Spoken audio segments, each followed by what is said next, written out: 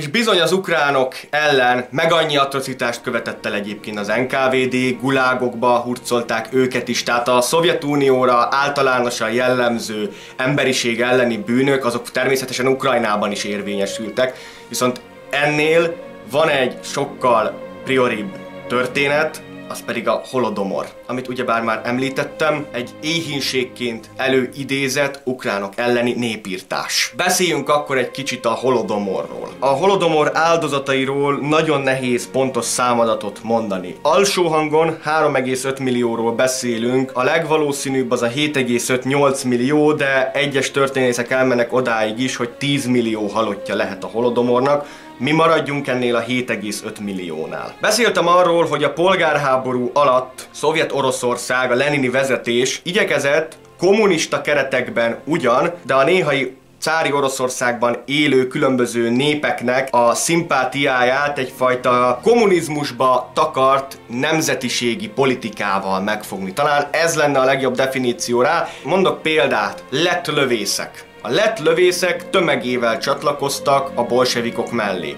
Miért?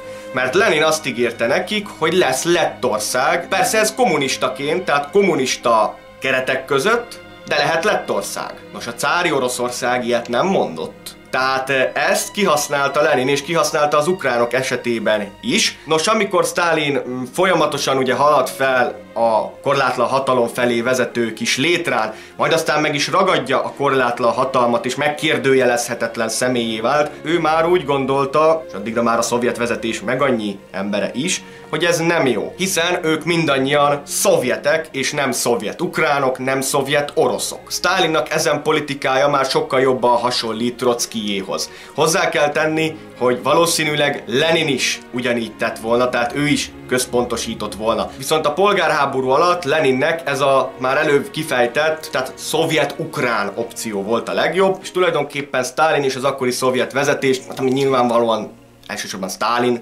akaratától és kívánságaitól függött, megkezdte az ukrán öntudatnak a felszámolását. Tehát oroszosítási politikát kezdett el, ez értelemszerűen az ukránok lakta területen, mind szociális, mind kulturális, mind pedig politikai konfliktusokhoz is vezetett.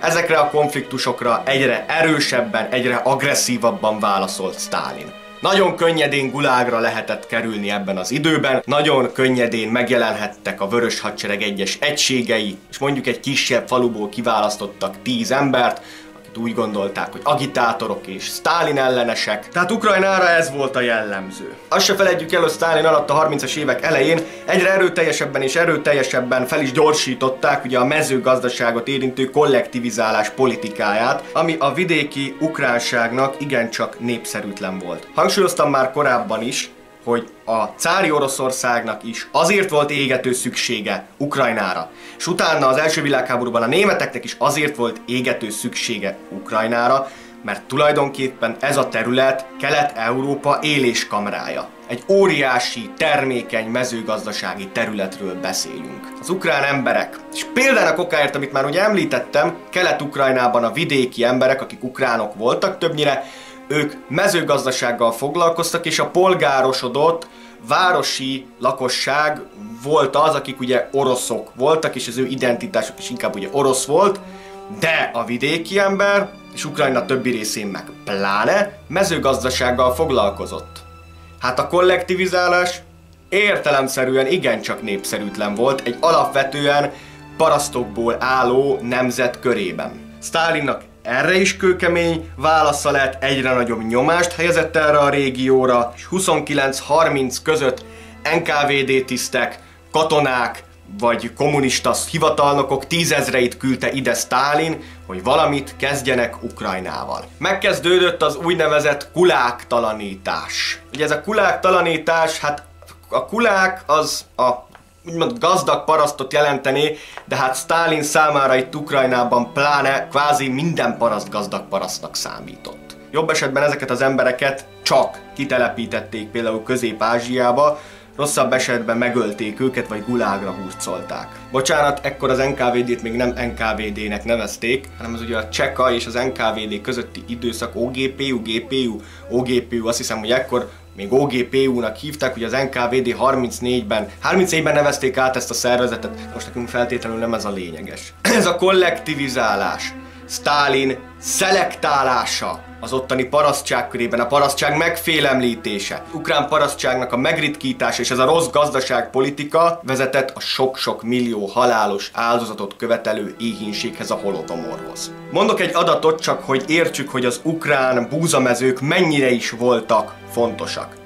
Az orosz birodalomnak, tehát még a cári Oroszországnak a teljes búzatermésének több mint a fele Ukrajnából származott. Pedig a cári Oroszország is egy óriási nagy területe helyezkedett el. Stalinnak 1932-re az volt a terve, hogy csodálatos gazdasági terv, ugyebár, hogy 90,7 millió tonna gabonát termel majd Ukrajna, amiből közel 30 milliót be is gyűjt az állam. Na most a termés az az előző okoknál fogva, parasztság elleni atrocitás terror miatt 55 60 millió tonna lett mindösszesen, és ezért vért izzadtak egyébként az ukránok. És ebből az állam egyébként még így is beszedett közel 20 millió tonna gabonát. Az emberek tehát éheztek, az éhínségben meghaltak, ráadásul még a szovjet fegyveres erők is tizedelték őket, hiszen hogyha valaki lopott, teljesen mindegy volt, hogy azt mondjuk az éhező gyermekéneke, arra halálbüntetés várt. Amit ugye előbb említettem, ez az 1932-es begyűjtés, ugye amikor nem sikerült a szovjet terv a terméssel kapcsolatban, nos, ezért a szovjet vezetés az ukránokat nevezte ki bűnbaknak. Nacionalistáknak, petrulistáknak nevezték őket, és még keményebben lecsaptak rájuk. Az ukránok közül több mint százezer embert ítéltek el, ugyanis hangsúlyozom, a szovjet vezetés Sztálin őket nevezte ki bűnbaknak. A hiba, a probléma, a rossz gazdasági tervezet, a, a brutális elnyomás és lecsapás miatti termés hiányt az ukránokra fogta. Na ez volt Josif Stalin. 1933-ban példának okáért ugye Molotovot küldte Ukrajnába Stálin, és parancsba adta, hogy ha gabonát nem tud begyűjteni, akkor gyűjtsön be minden más, tehát mondjuk burgonyát, mondjuk zöldségeket. Elvettek a parasztoktól mindent is, amit lehetett. Tehát ezek után minden bizonyal már mindenkinek érthető az, hogy hogy beszélhetünk több milliós halottról a holodomor esetében. És hát ezt a rengeteg elveszített ukrán lakost, ezt oroszokkal próbálta pótolni a sztálini vezetés. Tehát oroszokat telepített be, meg annyi térségbe, elsősorban ugye Ukrajna keleti részére, de maga az éhínség egyébként Ukrajna középső részén sokkal jelentősebb, tehát sokkal több áldozatot szedett. Sokkal nem, de látványosan több áldozatot szedett, mint mondjuk keleten. Csodálkozunk-e ezek után azon, hogy Kiev, az ukránok szeretnének nagyobb távolságot tartani Moszkvától? Hiszen ezek, a Holodomor, Stalin és az ukránokat elnyomó intézkedések Moszkvából jöttek. Számukra moszkvai vezetés az akkor is moszkvai vezetés, hogyha szovjet, vagy hogyha orosz.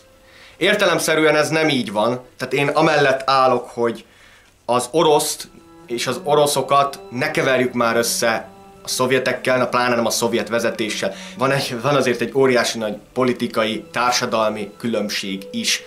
Ettől függetlenül azonban azzal nem javít a helyzetem például Putyin, aki ilyen újévi köszöntők szoktak azok lenni. Moszkvába vörös téren, háttérbe világító vörös csillag. Na, és ez ma van Oroszországban. Azzal, hogy ő náci talanítani akar Ukrajnába. Tény is való, hogy rengeteg szélső jobboldali egyén van ma is Ukrajnába, és a, a nemzeti szocialista nosztalgia, horogkeresztes mítosz, főleg a 2010-es évek első felében, hát az azért igencsak nagymértékű volt Ukrajnában, de csak megsúgom Oroszországban is.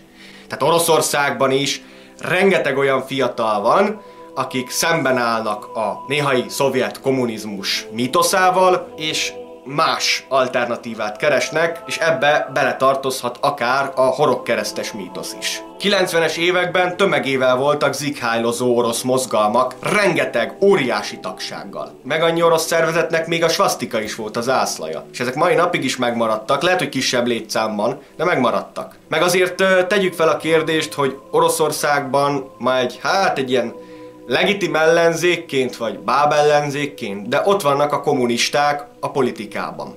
Ezek a kemény vonalas kommunisták, ezek Stalinnal sem állnak szemben. Ő, ők nem anti-sztálinista kommunisták. Nekik lehet politikai erejük, ellenben Oroszországban és mai napokban látjuk azt, hogy a inkább nyugatorientált orosz ellenzékieket pedig letartóztatják a tüntetéseken. De letartóztatnak többeket a tüntetésen, inkább így mondanám. És feloszlatják a tüntetéseiket. Saját véleményem szerint a putyini Oroszország nem szakított éppen eléggé a szovjet mitosza. Jó, Putyin populista, tehát ez a politikájának egy, egy jelentős részét teszi ki, hogy neki szüksége van a szovjet mítoszban, a kommunista mítoszban hívő emberekre is. Aláírom, ez egy politikai játszma ez a történet. Viszont azt gondolom, hogy Ukrajna és az ukrán nép szuveneritása mellett ez is egy érv. Nyilvánvalóan ez nem hatalmazza fel az ukránokat arra, hogy a kelet-ukrajnai orosz identitású lakosságot bombázzák. De az ukránok függetlenségét, az ukránok Moszkvától való távolságtartására, igen. Egy ukrán számára érthető, ha azt mondja, hogy Moszkva Moszkva maradt. És azt gondolom, hogy ezt a sok-sok miértet, amit körbejártunk ezekben a videókban, ezt ide Stálihoz vezethetjük vissza.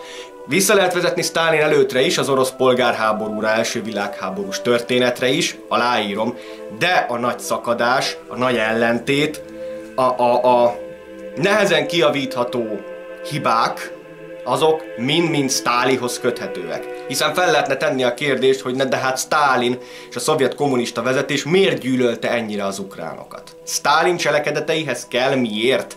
Kell nyomós ok. Az, a második világháború előestéjén, 38-ban, 37-ben is, de kivégeztette a, a, a vezérkarának a legjobbjait. Azokat, akik lehetséges, hogy a Barbarossa hadműveletben meg tudták volna állítani a, a németeket mondjuk nem csak Moszkvánál, meg nem csak Stalingrádnál. De Stalin ezekre az emberekre féltékeny volt, féltette a pozícióját, rettegett tőlük, ezért megölette őket. Aztán a téli háborúban, a finnek elleni harcban, 39-ben meglátszódott annak az eredménye. Stalin dobálta a népeket, könyörgöm, észteket telepített át a, a Kaukázusba. A csecsenek és az ingusok ellen konkrétan népírtást hajtott végre. Ha nem hal meg 53-ban, megkezdődött volna a muszlimok és a zsidóknak is a kitelepítése, áttelepítése.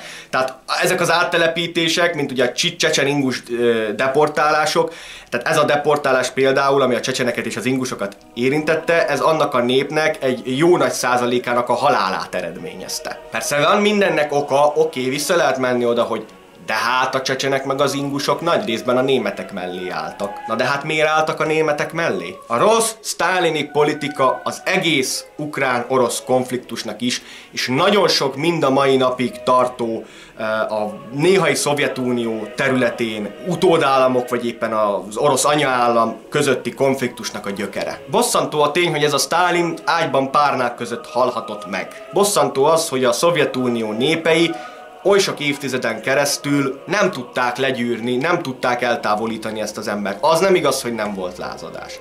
Az nem igaz, hogy nem volt Stalin ellen ellenállás. Egy könyvet szeretnék ajánlani. Ebben a könyvben egyébként rengeteg már a sztálini rendszer alatti eh, ellenállásról esik szó, de sajnos Stalin olyan korlátlan hatalmat tudott gyakorolni, olyan központosított, erőszakos hatalmat tudott gyakorolni, amivel ezeket sikerült elfolytania. Hát a második világháborús győzelmével pedig tulajdonképpen még a maradék éveire tehát így egyértelműen bebiztosította a hatalmát. Nos, az ellentétet ide vezetném vissza. Vannak olyanok, akik az orosz polgárháborúba viszik vissza, majd én el fogom mondani azt, hogy miért nem gondolom azt, hogy az orosz-ukrán ellenségeskedés, ellentét az, az, az miért nem az orosz polgárháború alatti Ukrajnában született meg, de maga az ukrán identitást azt, azt vissza lehet oda vezetni, ez tény és való. Sokan vannak, akik azonban egyes anyagaikban egészen a zaporozsiai kozákokig visszamennek az orosz-ukrán ellentéttel kapcsolatban. Én nem gondolom, hogy ez jó ötlet. Történelmileg érdekes persze visszavezetni az aporozsiai szicsig is a történetet, beszéltem ugye én is az aporozsiai szicsről, beszéltem arról, hogy hogyan ö, szüntették meg az oroszok fokozatosan az autonómiájukat, de, de a kozákság, a kozákok, azok, azok mindig egy, egy másabb nép voltak, azok, az mindig egy, egy másabb kultúrkör volt, egy másabb mentalitás, egy, egy teljesen más, mondjuk egy népszervezet volt, mint amilyen mondjuk az ukrán nemzeti identitás lett.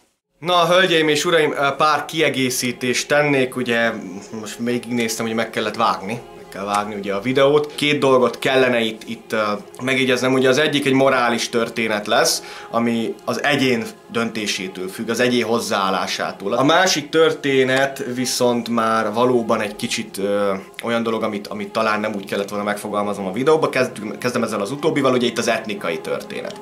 Tehát, hogy a holodomor etnikai népírtás volt-e. Azt is hozzá kell tenni, hogy abban az időben, amikor a holodomor volt, nem csak Ukrajnában volt éhínség, hanem kiterjedt, a mai, bocsánat, a mai, nem csak a mai Ukrajna területére terjedt ki az éhínség, de például okáért a Doni, eh, Kubáni régióban is volt éhínség. Voltak Oroszország, a Szovjetunió más eh, területein is éhínségek. Ez egy kiemelkedően óriási éhínség volt. Egy kiemelkedően óriási pusztítás. Ez érintette a Dont és a Kubánt is. Viszont lehet egy másik szemszögből is nézni a dolgot. A Dont és a Kubánt kik lakják? Kozákok. Ezek a kozákok is beletartozhattak uh, Stálin és a szovjet vezetés potenciális ellenségeinek körébe? Igen. Megint csak ott vagyunk, hogy uh, ez kicsit álláspont függő. Én azt állítom, és én azoknak a a munkáját, történészi munkáját, azokból táplálkozok, akik úgy gondolják, hogy ha nem is egy, egy, egy teljesen direkt etnikai támadásról van szó, hiszen e, ez azért ettől kicsit közvetlenebb volt, ami ugye nem mentség, mert ettől függetlenül milliók haltak meg, embereket lőttek könyörgöm le. Tehát itt nem csak arról volt szó, hogy ezek az emberek éhen haltak, vagy az éjség miatti betegségekben haltak meg, vagy fertőzések ütötték fel a fejüket ezek a dolgok miatt, hanem itt le is lövődöztek embereket, gulágra hurcoltak embereket, mert nem tudta beszolgáltatni, és hát az állam persze nem segítőkezet nyújtott, hanem lecsapott. Tehát itt azért ezt is tegyük hozzá, hogy itt, itt kivégzésekről is van szó, akár rendezett, akár spontán, akár gulákba hurcolás terén. És azért itt nagyon nagy nosztalgiák vannak mostanában a vörös hadsereggel kapcsolatban, így meg úgy, de hölgyeim és uraim, itt ebben a történetben például nem csak az NKVD, nem csak maga a, a politikai fegyveres szerv, volt az, akik, akik a nép közül szedegettek. Be kellett vetniük a hadsereget is. Ha nem háborús bűn, de ez is a bűnük. Én értem, hogy nagyon sokan moralizálnak mostanában olyan kérdések, hogy de hát a katona, az csak katona.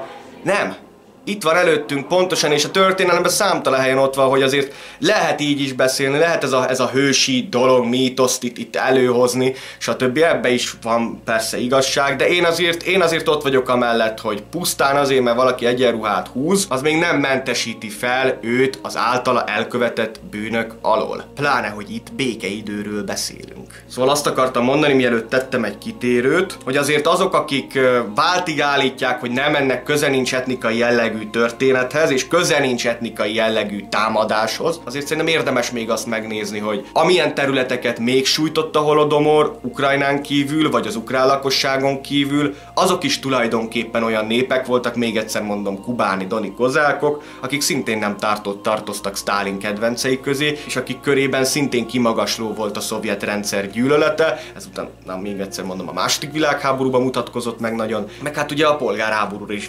visszavezethető itt meg annyi minden. Stalin ezeket a népeket, akiket a holodomor sújtott, ezeket kifejezetten gyűlölte, és nem, megmerem kockáztatni azt, hogy egyébként Stalin még tapsolt is ehhez. Még egyszer mondom, nem segítőkezet nyújtott az állam, hanem fegyvert fogott rájuk, és szerintem, ha a holodomorról beszélünk, akkor komplexen erről a történetről kell beszélni. Előzmények vannak, és dolgok, amik ezt még inkább elmélyítik, amik még inkább szélsőségesé teszik ezt a történetet.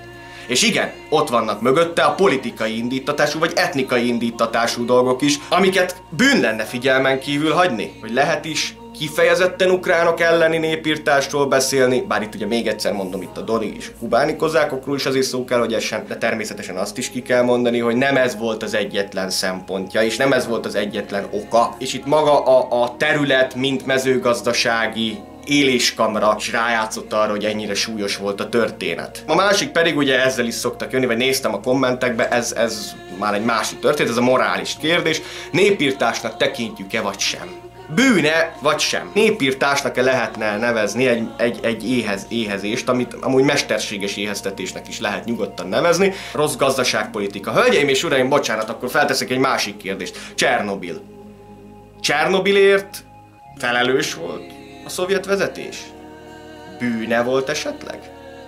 Én határozottan azon az állásponton vagyok, hogy igen, megvan meg annyi indok arra, hogy miért a szovjet vezetésnek a hibája volt Csernobil, mi az ő felelősségük, és tekintve, hogy mekkora katasztrófát okoztak ezzel, és hogyha nincsenek azok, akik tényleg hősök voltak, akik akkor az életüket áldozták azért, hogy ne legyen még nagyobb katasztrófa Csernobilból. De innentől kezdve az is, az bűn. Az lehetett volna rosszabb, és így is óriási durva következményei lettek amiknek meg is isszuk egyébként a levét. De én azt gondolom, hogy bűn. Ez egy morális történet, mert lehet azt mondani, nyugodtan valaki mondhatja azt, hogy hát de ez egy baleset volt. Ja, és mi volt a baleset? Most nem arról beszélek, akik beleviszik azt, hogy a CIA robbantott vagy valami, hanem arról, hogy morálisan úgy tekintjük-e, mint egy egyszerű, véletlenszerű kis balesetecske, vagy az, hogy a szovjet vezetés hibája és ezáltal a következmények miatt a szovjet vezetés bűne, mert azt azért bőven lehet már ma már tudni, hogy mik voltak azok a dolgok, amik okozták is azt, hogy felrobbant az a reaktor. Másik történet, és akkor viszont az éhínségekre térjünk rá, az éhínségek morális értelmezése. A burgonya vészt britek bűnének tekintjük, ugye az írek e, történetéhez van. Én úgy gondolom, hogy a burgonya vész, és szintén ebbe belejátszik a briteknek a rossz e, politikája, Írországgal kapcsolatban, vagy éppen a, a burgonya vész, mint egy természeti katasztrófa, annak a szörnyű lereagálása, és szintén a segítségnyújtásnak tulajdonképpen a, a, a elmaradása, így a brit birodalomnak, a brit vezetésnek is volt benne bűrészessége. India éhínséget is nyugodtan ide lehetne egyébként sorolni. Ott is úgy gondolom, hogy megvan a brit birodalomnak a bűne, meg annyi történetben, és az államnak ezekben a történetekben, burgonyavészben, holodomorban, hogy az indiai éhínségben megvolt a felelőssége. És talán sok esetben ez a döntő, hogy hol van a legnagyobb felelőssége az államnak. És a holodomorma, a holodomor esetében maximálisan magasan ível a többi közül azon téren, hogy nekik van a legnagyobb felelőssége ebben. Nem kell messzire menni, e, ott van Kína.